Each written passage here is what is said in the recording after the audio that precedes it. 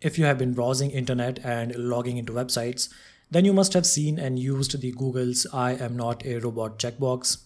That checkbox is the Google's reCAPTCHA service and is used to identify valid users and filter out any bots or malicious requests. So if you want to understand what are the Google reCAPTCHA services and how can we integrate the I am not a robot checkbox into your web pages, then be sure to watch this video till the end. Now, this video is divided into chapters. So if you want to skip any part, like you are only interested in the coding part, then feel free to skip to that chapter. Also, if you feel this video is interesting and helpful, then please don't be shy and like the video and also subscribe to this channel to stay updated with more such kind of videos. Now, before we start adding the reCAPTCHA checkbox in a web page, first let's have a brief overview of different reCAPTCHA services that Google provides. So basically, Google offers three kinds of reCAPTCHA services. First one is the reCAPTCHA version 2, then there is a version 3, and then there is the reCAPTCHA Enterprise. So reCAPTCHA version 2 is the one where we can add the I am not a robot checkbox to validate the user's request. It also includes invisible verification. Also, Google provides 1 million verifications for free, which I believe should be sufficient as far as free services go. Second one is reCAPTCHA version 3 and it works differently where it gives a score of user interaction and based on that score we can decide what to do with the user's request. So if the score that this service provides when validating a user is low then we can decide to reject the user's request or to identify the user either as a bot or as a malicious user. If the score is acceptable or if it is high enough, then we can say, yeah, this user is valid and he can go through to use our services. Then there is the reCAPTCHA Enterprise, which provides an entire suite of services for fraud detection and other services such as DDoS protection, etc. You can find more about it if you want to by going to this URL of Google reCAPTCHA. But in this video, I'm going to talk about reCAPTCHA version 2 where we are going to add a reCAPTCHA I am not a robot checkbox and I will show you how we can take the help of Google in verifying if the user is a valid user or if it is a malicious user etc. So without wasting any more time let's begin. Now the first thing that you need to do is to open up the admin console of Google reCAPTCHA and then log in into your account if you are not yet logged in when you will open up the console then if you do not have any reCAPTCHA services enabled for any of your hosts or domains then it will ask you to register a new site. The first thing that you need to do is to give in the name of the label. So i'm just going to give the name as test.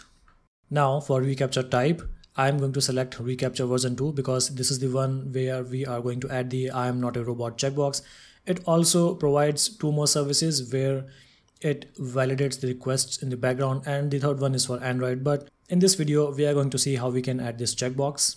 Next, you will have to add the domain. So I will come to this part later because I will show you how I'm going to do that for this video. This is the email address of owners. So your email address will come here as default. You can add more email addresses to receive any kind of notifications from Google. Let's say Google detects that someone is maliciously trying to use our web application, so it can notify us by means of sending emails to the owner's email addresses.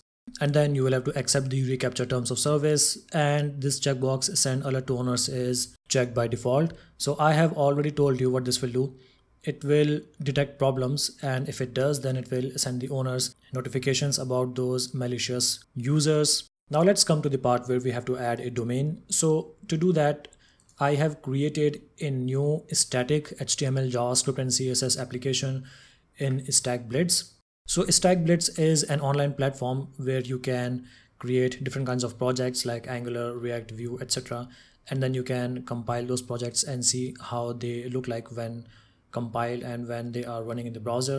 So in this project, there are three files. First one is the index.html file, then there is a script file, and then there is a style.css. So usually we use the I'm not a robot checkbox when a user is trying to log in because we want to make sure that a genuine user is trying to log in and not a bot or any other malicious user is trying to log in. So what I'm going to do is I'm going to add the checkbox, the I'm not a robot checkbox below this login button.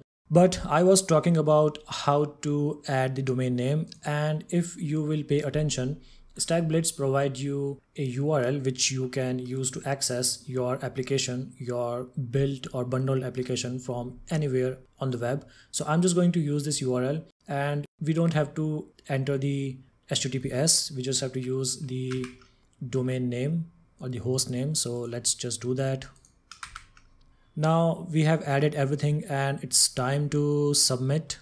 So test has been registered and the google's reCAPTCHA has created two keys for us. First one is the site key and the second one is the secret key. So site key is the key which we use in the browser and the secret key is the one which we use on our server.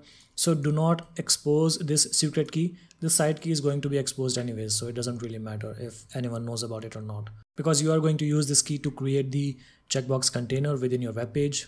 So now when we have the site key and the secret key it's time to create the i'm not a robot component or widget and place it on this web page below this login button. Now there are two ways in which the reCAPTCHA widget can be rendered. The first one is it will render automatically where we will use a div. And the second one is we will render it explicitly by creating a JavaScript function. So let's first see how we can add the widget automatically. Now the first thing that we need to do is we need to add the script element. So let's do that and add it below this script. This is the URL of the CAPTCHA API script and we have to load it in the async defer mode. The next thing that we need to do to automatically add the reCAPTCHA widget is to add a div element below this login button. So I'm just going to create a new div element. Now in this div element, first we have to add the class attribute and its value is going to be g reCAPTCHA. And then we will have to add the site key attribute.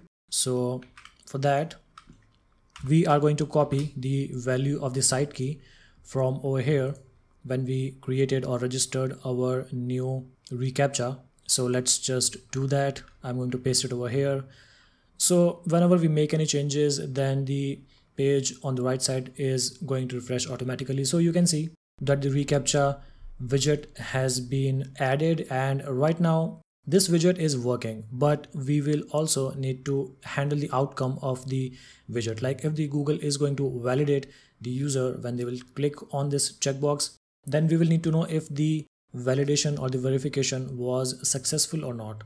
To do that, we use callbacks. But before that, I'm going to show you the explicit way of adding this widget where we will not be adding the site key within this div element and we will be using a function which will act as the callback whenever the reCAPTCHA API will be loaded. Let me just zoom it so that you can see it. So to add the CAPTCHA explicitly, the first thing that I will do is I will add a script callback function. So I'm going to add this function within this HTML page within a new script element. So let's first create a new function with the name on load callback. Now we need to add two parameters to this source value and those two parameters are going to be the onload parameter and the render parameter so we need to add these two parameters onload is going to point to the callback function which we just created onload callback and render is going to have the value explicit. Now you have to make sure that the callback function should be available or should be loaded before the reCAPTCHA script loads.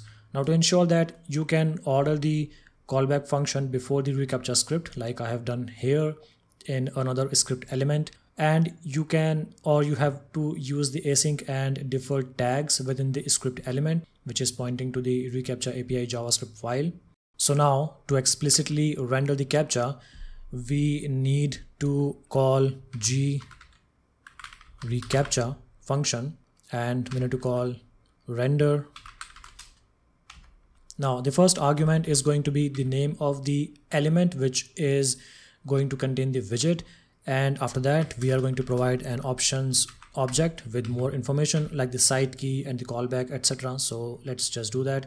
Now if you remember we have already created a div but we provided the site key in that div. So i'm going to remove the site key attribute from this div and i am going to you know what provide an id to this div.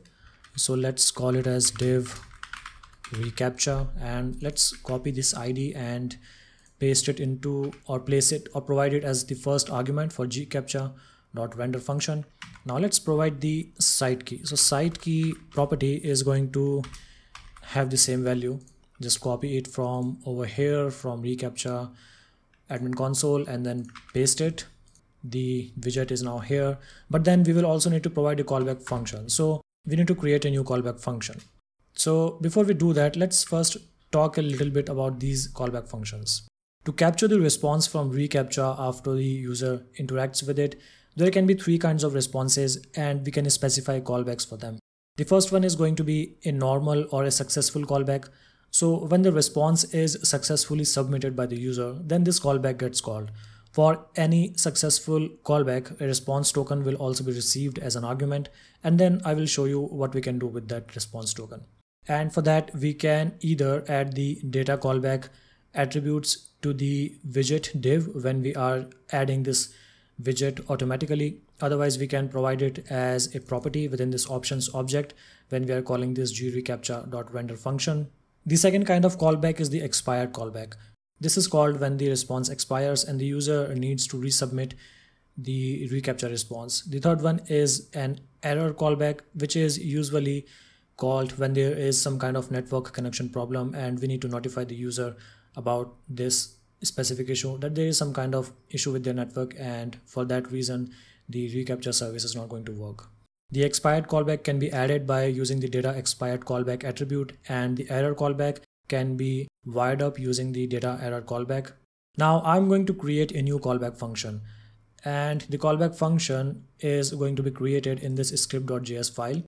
So I'm going to remove this console.log statement and then let's create a new function and let's just call it success callback. Now within this i'm just going to provide a debugger.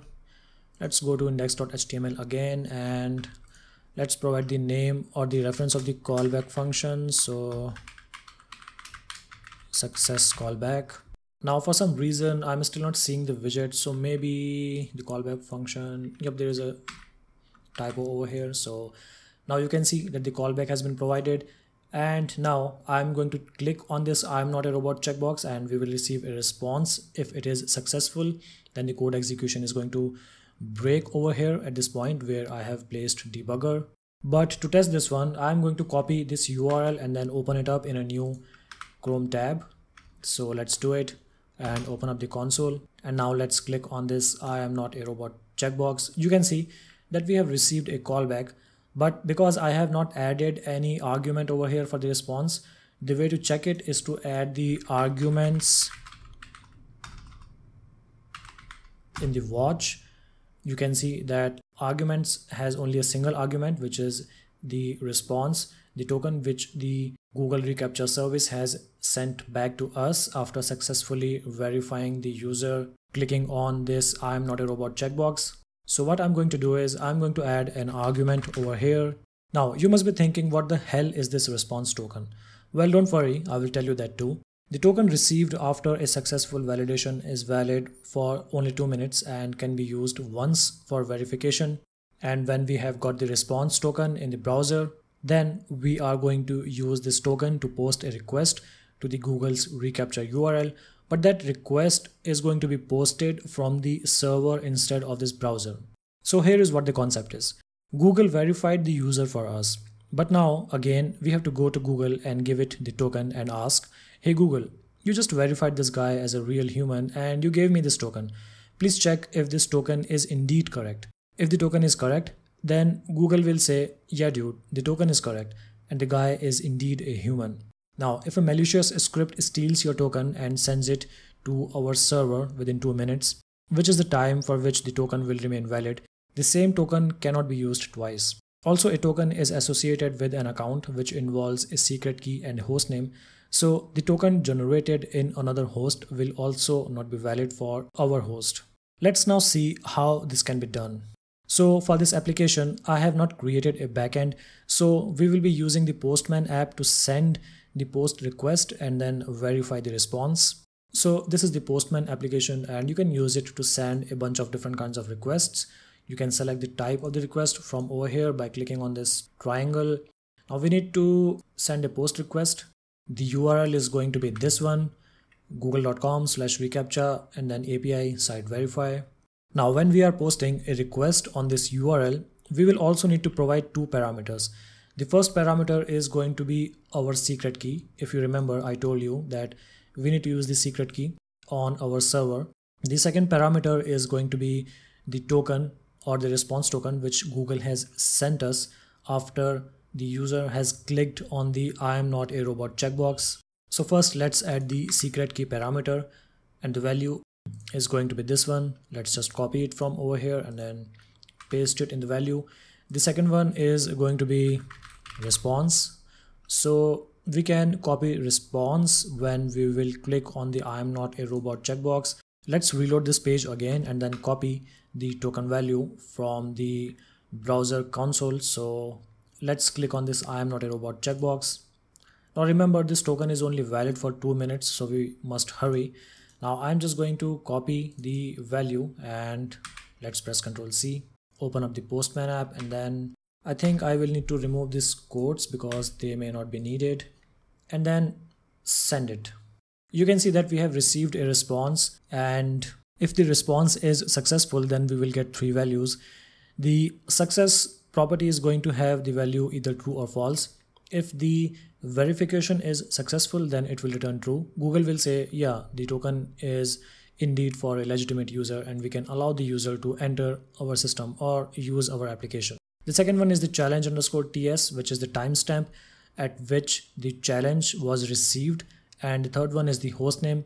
So hostname is the one which we have provided when we were registering our application or our web page or our web host to Google's reCAPTCHA and this hostname is associated with this name or label test. Now let's try to post this same request again. So because this same request cannot be verified twice. So if I will post it again, then you can see that success is now false and there is another property with an array timeout or duplicate. It says that it is either a timeout issue or either it is a duplicate token because we have already used this token to verify the legitimacy of the user. So that was all about the Google reCAPTCHA version 2 checkbox. There are two more variants of this API. This one is for the invisible mode and there is the other one which is for Android. Do check them out if you want to and if you want to see how to use them then you can always check out this developer guide. I have shared this link in the video's description. And finally, thanks for watching this video. I'm Nitij, take care and have fun.